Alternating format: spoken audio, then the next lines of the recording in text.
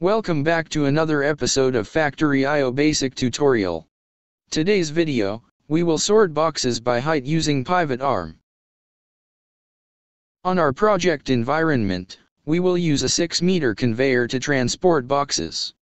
The operation will be executed by PLC ladder program using Siemens TIA portal software. But first, let's analyze the operation. This is a 6 meter sorting box conveyor system. On this green arrow, it emits boxes in different sizes to be transported on the conveyor. And this is the pivot arm. How this conveyor system works. There are two diffuse sensor installed in the system. Diffuse sensor 1 to activate pivot arm, and diffuse sensor 2 to deactivate.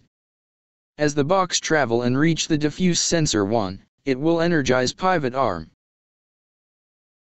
Pivot arm roller will carry the box down to the sliding tray. And when diffuse sensor 2 sense the box, the pivot arm will return to its original position. Diffuse sensor 1 is for bigger box only, small boxes is below the sensor ray, so it will not trigger the pivot arm to turn. Small boxes will go straight and drop off on the other end of the conveyor. Now, let's get the inputs and outputs to start our PLC program. For the inputs, we have start button, diffuse sensor 1, and diffuse sensor 2. And for the outputs, we have conveyor belt, pivot arm turn, and pivot arm sorter plus. Okay, this will be our PLC program to run the sorting box conveyor system. On our first network, I use open contact for the start push button, followed by P-trig rising edge instruction. And we will use set instruction for conveyor. When we energize the start push button, it will check edge change in current flow before CLK, and short pulse in Q output to set the conveyor. For second network, another open contact for the diffuse sensor 1, followed by P-trig rising edge instruction. When diffuse sensor 1 is activated, it will set pivot turn and pivot belt. And for the last network, an open contact for diffuser sensor 2, this one is to deactivate or reset pivot turn.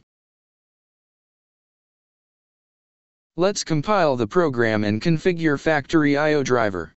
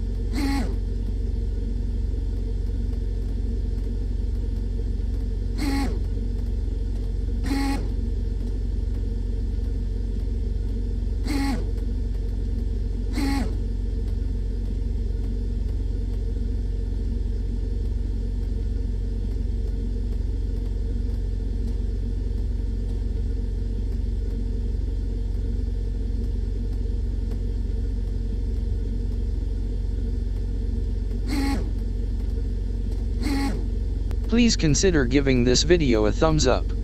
Every time you hit the like button, you help us growing our channel. Subscribe as well to notify you when there's new video uploaded. Thank you very much and have a good day.